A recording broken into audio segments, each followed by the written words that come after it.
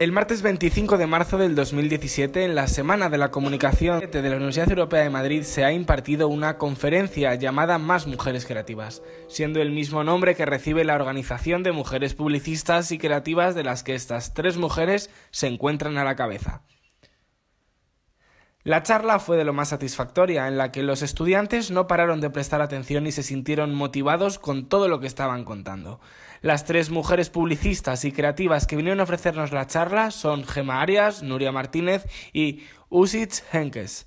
Las mujeres licenciadas en publicidad son solo un 50%, un 14% son directoras creativas y solo un 1% son directoras generales creativas dentro de dos años no, no, tenga que existir más mujeres creativas. Ese es el ánimo que tienen más mujeres creativas, no es simplemente reclamar la parte de, del espacio que necesitamos, o sea, que, necesitamos lo que nos merecemos.